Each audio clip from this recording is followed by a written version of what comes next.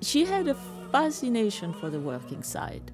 They're not easy to cast the concrete with those shapes. It's an enormous amount of knowledge. And she asked me to go and photograph. Not many architects want to have photograph of their working site. She really wanted to uh, record. I call the childhood of the, of the building. And looking at the, the finished construction, I mean, it, the edges are very, very sharp, aren't they? And that wasn't something that, that is associated with her work later on. It was, it's more about the curves, isn't it? Yes, yes. No, there was definitely a change. She didn't kind of embrace one style and carry on in, in, in a maybe a repetitive way. She was always challenging the technology and herself, of course, to invent new form.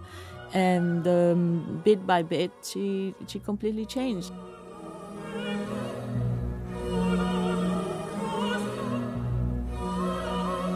One of the first really uh, example of big size building of curve. We have Wolfsburg, but then after we have Baku in uh, Azerbaijan. Which some say is the sort of supreme example of building on a grand scale, but this sort of wonderful, beautiful lines sort of sweeping through the air. She managed to give a sense of uh, endless when you don't know where the line is born and where it's finished, and that's an incredible feeling.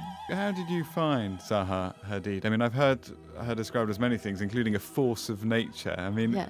was she that? She was absolutely a force of nature. There's not many words to, to really describe her personality, her talent. You realize also you're given a gift, you have to give it to the world.